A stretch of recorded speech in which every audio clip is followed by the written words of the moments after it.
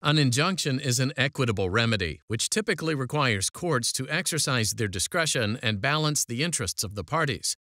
However, when a landowner seeks an injunction to remove an encroachment, some courts automatically grant the injunction unless an exception applies. Peters v. Archambault illustrates this rule. In 1954, Anthony Archambault bought a house on the Massachusetts coast that was built in 1946. Peter Peters bought the neighboring house in 1966. One month after Peters purchased his property, he commissioned a land survey and discovered that Archambault's house was partially built on his land.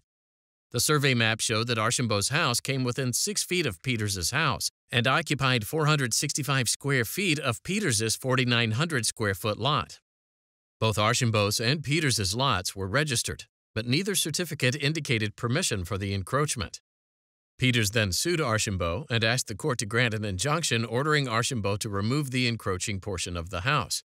The court observed that removing the encumbrance would be expensive, but found no evidence that Peters unreasonably delayed asserting his rights or otherwise engaged in conduct that would justify denying the injunction. Accordingly, the trial court granted the injunction. Archambault appealed to the Massachusetts Supreme Judicial Court.